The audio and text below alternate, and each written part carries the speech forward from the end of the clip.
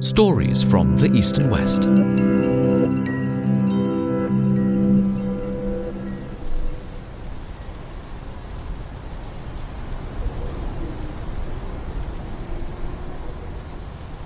Ten twenty p.m. It's a bitterly cold November night in Warsaw. A family of four sits shivering in the darkness of an abandoned alley, hoping nobody sees them. Around ten minutes later, a dark green Volvo with diplomatic plates pulls up beside their hiding spot.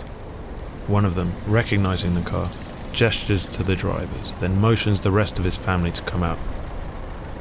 All four quickly climb into the car before it speeds off into the night.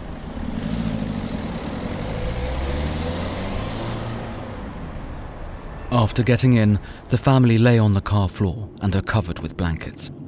Everyone remains silent as they drive through the empty streets of Warsaw.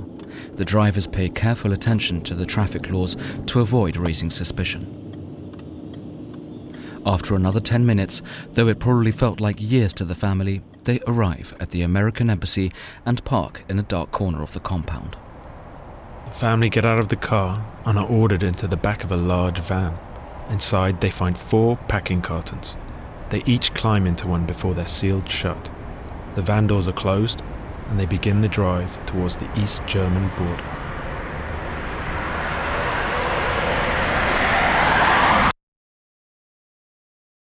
One member of this family will be the focus of today's episode A story full of commitment, tragedy, controversy, patriotism. and of course, espionage.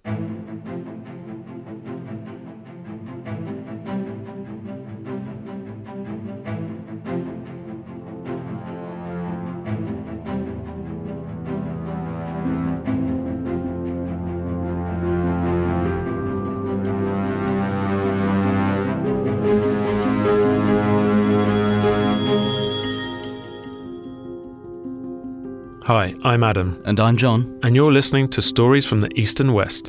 In today's show, we're going to tell you a remarkable story of Cold War espionage that not too many people know about. But one man does. I'm Ben Weiser. I'm a reporter at the New York Times. Weiser is the author of A Secret Life The Polish Colonel, His Covert Mission, and the Price He Had to Pay to Save His Country. His book served as one of the main inspirations for what you're about to hear.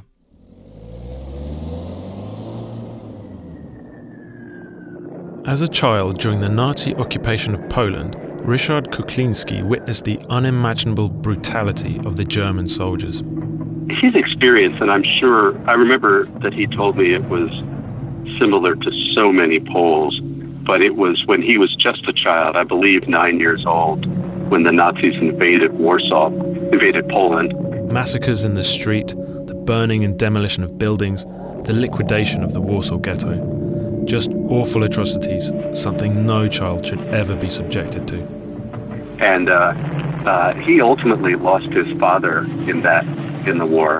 Um, and it was just a horrific experience for him. And he, and he always reminds me that he was, his experience was like so many people uh, in Poland. As Weiser says, the war was tough for Kuklinski.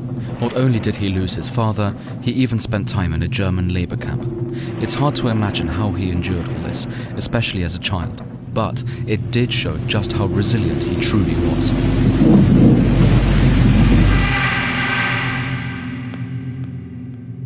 When the war ended, Kuklinski set his sights on the Polish army, joining at the ripe old age of 17. And after the war, he eventually entered the Polish army, was an extremely loyal soldier, and as most know, he worked his way up in the army. Um, uh, he was a very smart uh, and and and uh, careful writer. Uh, he, he was talented. Uh, he was well liked, uh, and ultimately he rose to become a an important member of the of the general staff. Though he did enjoy a great deal of success, that wasn't the full story. Keep in mind that after the war, even though Poland had shaken off one oppressor, another one came in the Soviet Union. Товарищи, наступил великий день победы над Германией. And Kuklinski was not happy about it, particularly since he was witnessing firsthand the gradual Sovietization of the Polish army. And I think he ultimately concluded that Poland really needed to be its own country and not dominated by another. And I think that that began to shape the way he saw the world uh, as, as time progressed. But even once he was a colonel, it didn't mean Kuklinski could change this unfortunate reality. The Polish army was being remade along Soviet lines in every imaginable respect drills, teachers, uniforms, ideological training, you name it. And it wasn't just the army, it was the entire country that was being transformed into a puppet state. Once again, Poland had lost its sovereignty to a foreign power.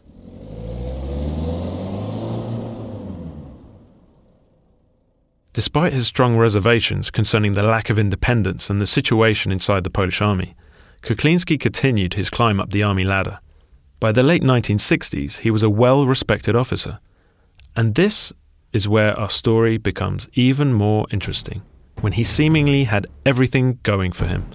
Two things happened that changed everything for Kuklinski.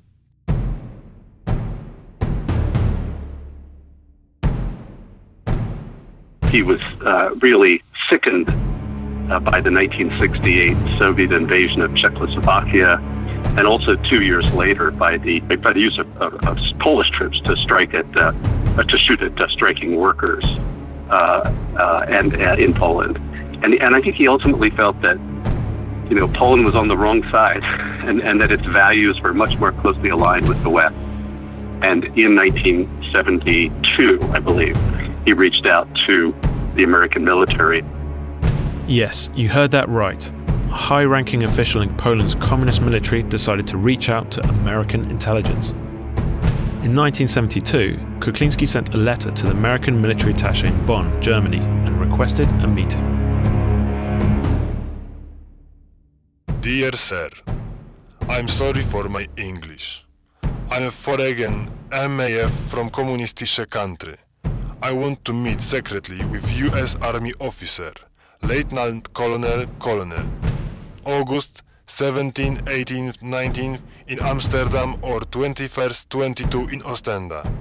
It have no many time. I am with my comrade and they can't know.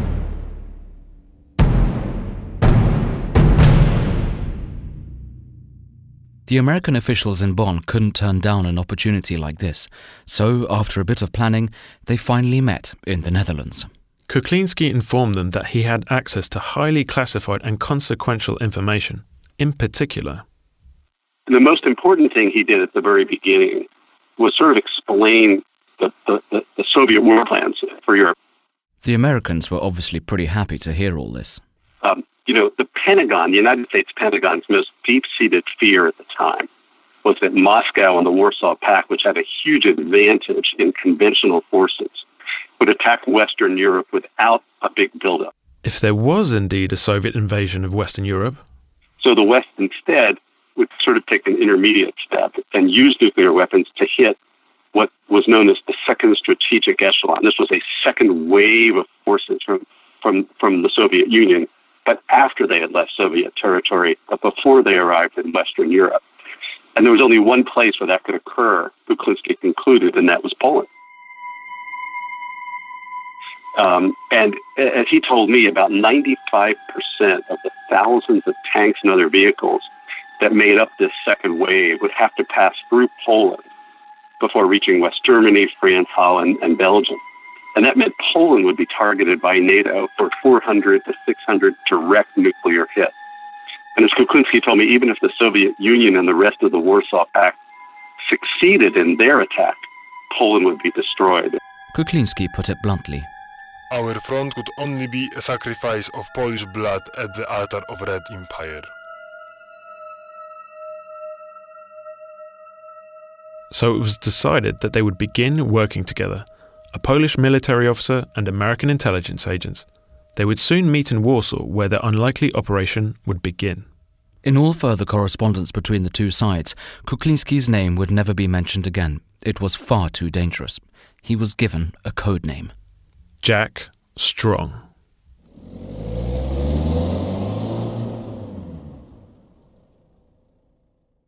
After returning to Poland from his surveillance trip, Kuklinski began his espionage career as Jack Strong, he began to communicate extensively with the Americans.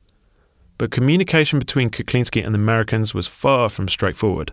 Initially, the Americans communicated with Kuklinski in Poland through various means. They would leave things for him called dead drops. That's when they would put something at a location, he would come pick it up at another time.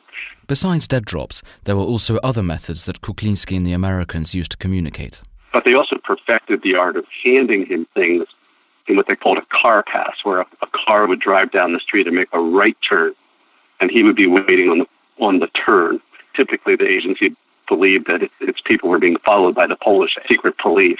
But in the two or three second gap that existed when the American car would turn right, but before the Polish secret police would make its right turn, that's when a handoff would occur to Kuklinski, who would then disappear into the shadows.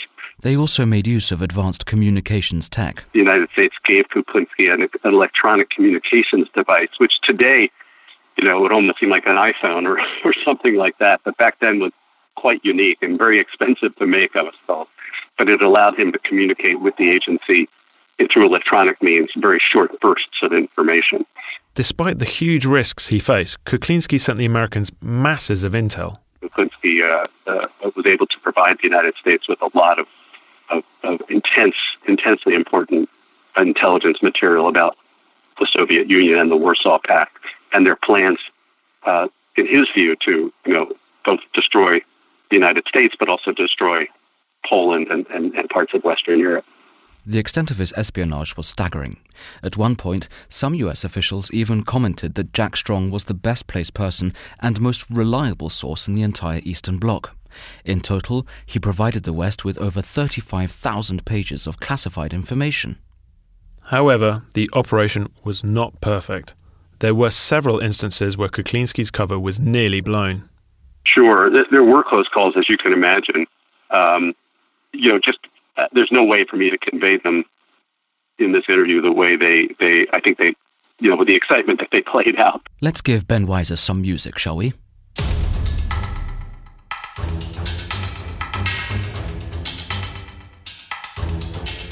There was one time when he was in the midst of, of making one of those car passes or receiving a package in a car pass when he got caught in the headlights of a Polish secret police vehicle and he literally spent the night on the run.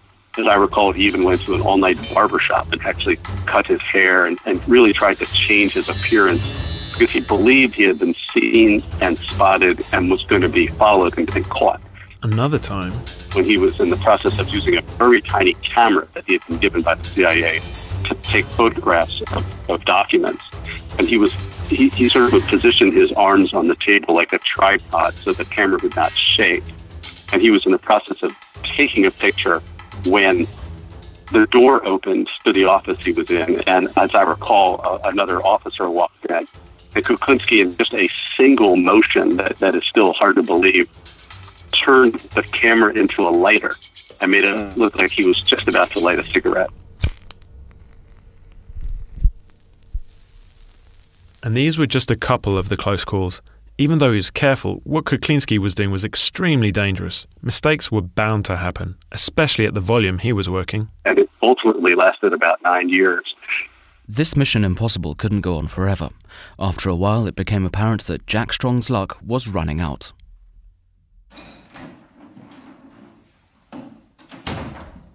On November 2nd, 1981, Kuklinski was called to a meeting with other military leaders. After walking in and taking a seat, there was an awkward silence. One of the officers in the room broke the silence with an abrupt announcement. There had been a leak, and it was a leak about their plans to bring in martial law, a huge crackdown on civil liberties due to begin mid December. This was an act of treason. Kuklinski sat there in disbelief. He hadn't been accused of leaking the documents, but he knew only a few people had access to them. It was only a matter of time before his name came up. He had to act, and fast. He wrote a letter, he wrote a, a note to the agency pretty much saying that everything is pointing to the end of my, my mission. Then he had to tell the most important people of all. And he went home and told his family for the first time, his kids for the first time. Uh, he had two sons and his wife, and said that within hours or days they might have to be exfiltrated or taken out of Poland. Um, and his family ultimately decided to go with him. On November 7th, the family met at an abandoned alley and waited in the dark. After several minutes, a car with American plates showed up. Kuklinski, his wife, and his two sons climbed into the car before it sped away.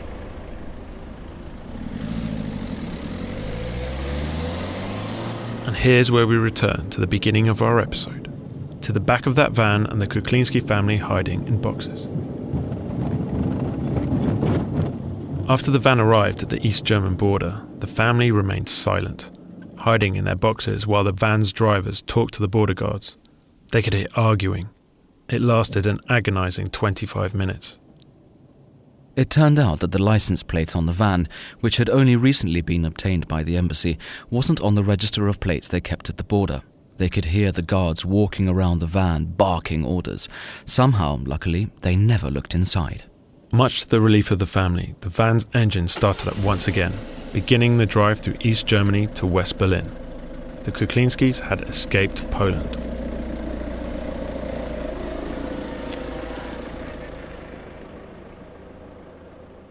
After arriving in West Berlin, the US Army quickly flew them to the States for safety.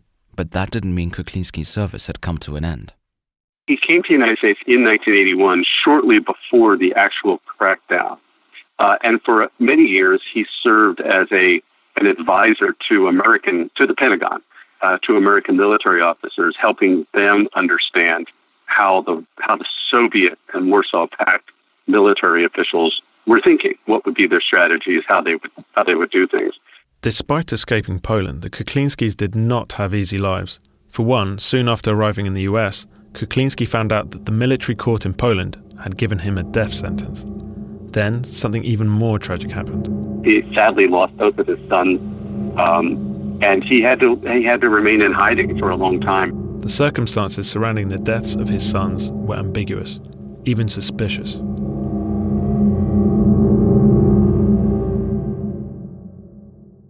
Some people believe Kuklinski was a hero who served valiantly in adverse circumstances. For many in US intelligence, including the late Zbigniew Brzezinski, he was unofficially the first Polish officer of NATO. Others, however, do not think highly of him. They believe he was a traitor, a deceitful individual who betrayed his homeland for the interests of a foreign power. In order to better understand his divisive legacy, it helps to put both Kuklinski and his actions in context. First, we need a better understanding of Cold War espionage as a whole. Let's zoom out a bit. You have to remember that this thing we call the Cold War was really an existential confrontation between two sides that did not understand each other very well. You know, the Soviet Union and the United States, the East and the West, there were a lot of things that kept the other side very mysterious. That was David Hoffman, journalist for the Washington Post and author of the best selling book Billion Dollar Spy. As Hoffman says, the Cold War was an existential confrontation, not just a clash of political and economic ideologies. There was a great deal of misunderstanding between the East and West, which was made only worse by the secrecy both sides tried to maintain. Espionage came about as a way of trying to understand the opposing side. The density and the intensity of espionage in this time was oftentimes dictated by these great uh, deal of mistrust and distrust, misperception between these two blocks. The first thing that both sides were very afraid of was that they might be surprised militarily. And so, a big priority for espionage on both sides was to avoid such a surprise by sending spies out to discover the military secrets of the other. Each side had legions of staff trying to understand the other. These were mostly the analysts, the people that, you know, read all the data and tried to make sense of it. One time during the Cold War, the CIA director checked in on an office he rarely visited. And he came up to one cubicle, and a woman was working there, and she had on her uh, wall, or right there on the edge of the cubicle, on a bookshelf, a can of peas from a Soviet grocery store. And the CIA director said, I'm sorry, but why is that there? What do you do? And she said, I am the canned goods analyst for the Soviet Union. Maybe a little ridiculous, but it really does show how expansive this conflict was. Inevitably, the governments of both the Eastern and Western blocs had to rely heavily on individual operatives to gather intelligence. Sometimes these operatives were sent from the original country to the country of interest. Other times, as in Kuklinski's case, they were dissidents operating from within. Let's look at another example. Take Adolf Tolkachev, a Soviet citizen who spied for the US and was executed for his actions. In the case of Adolf Tolkachev, who I, I wrote about in The Billion Dollar Spy, he was very deeply unhappy with what the Soviet system had become. His uh, wife's parents were repressed under Stalin. Um, his wife's mother was executed, her father sent to the gulag. This was part of the family legacy and something that burned inside of him. Another example worth considering is Oleg Gordievsky, who became disillusioned with his work in the KGB and began to work with British intelligence. Oleg Penkovsky was another Soviet citizen who became disillusioned with the Soviet Union and began providing information to US intelligence. He was, like Tolkachev, executed for his actions. And there are many, many more cases that we haven't even mentioned. We could go on, but you get the point. So, as noted, disillusionment was a very common reason for spying. But it was far from the only reason. Money, of course, was a motivation for some spies, although the large amounts of cash the CIA paid Tolkachev seem to have been meaningless. The CIA gave him a lot of money. He had nowhere to spend it. There was nothing to buy in that period in Moscow with all the shortages. He kept the money in a shoebox. What the hell do you think spies are? Moral philosophers measuring everything they do against the word of God or Karl Marx? They're not. They're just a bunch of seedy, squalid bastards like me. Little men, drunkards, queers, henpecked husbands, civil servants playing cowboys and Indians to brighten their rotten little lives. Do you think they sit like monks in a cell balancing right against wrong? That angry speech from the spy who came in from the cold may take it a bit too far, but there may be a point there too. Espionage has often been romanticized by popular culture. Spies themselves are often praised as these moral agents serving some noble higher purpose. When it comes to the motivations of Kuklinski and Tolkachev, Hoffman has some clear thoughts. But I think in both of these agents were men driven by principle. They were not driven by greed. And I say that because a lot of spies were driven by money, ego, um, by other factors than just some lofty, noble principles.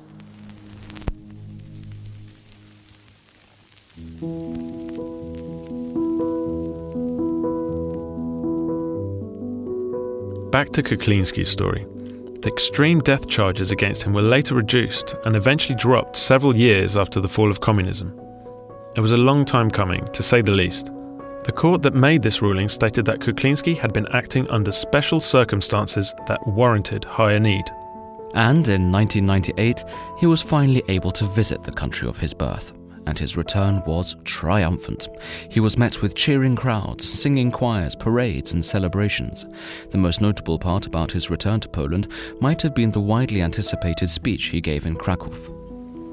I consider myself to be an ordinary soldier of the Republic who did not do anything beyond the sacred duty of serving one's homeland in need. What perhaps differentiates me from the enormous number of people involved in the historic transformations of Poland and Europe is the specific nature of the mission I undertook and the consequences it caused. It is, therefore, still hard for me to believe that everything I am experiencing at the moment is really happening. And the praise for Kuklinski didn't stop with his return trip. Shortly after his death in 2004, the Polish government promoted him to the rank of general. He was then buried with honours in Warsaw and given honorary citizenship of several cities in Poland. I think it's safe to say that the later independent government's opinion of Kuklinski was quite different from that of the government during the communist regime. But it does beg the question just how should we judge spies and their actions? I think that the smart people in intelligence will tell you that in the end of the day, when you strip away all that nonsense about, you know, spying and dead drops and flashy technology and secret devices, and when you strip all that away, what really counts are the values that the agent is working for, are the values of what the spy believes And, you know, in the case of Tolkachev, he, um, he had never touched a dollar bill. He had never set foot in America. He didn't. He had confessed in his own letters to CIA. He didn't really know much about America, but he knew how deeply he disliked the values of the Soviet system. The, he called it this incredible, impassable, ideological hypocrisy. Now, in the case of Kuklinski, again, it's a different case at a different time and a different man. But I think it's really important to ask um, why did he do it and what did he see in the existing system at the time that caused him to rebel? I mean, what was he fighting for? What were the values that he really cared about? And at least my understanding is that he considered himself a patriot who cared about a free, democratic Poland. You know, as far as his legacy is concerned, I think that he, he simply believed he did the right thing. Um, and he ultimately decided, you know, others would, would judge him, but I know that he never felt that he had made a mistake. But he did feel, and he understood that he had, you know, paid quite a price, and his family had for what he did.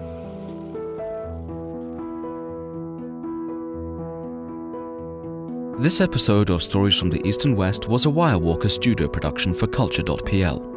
Our team included Wojciech Oleksiak, Adam Żuławski, John Beauchamp, Nitzan Reisner, and Michael Keller. A big thanks to Ben Weiser and David Hoffman for joining us on this episode.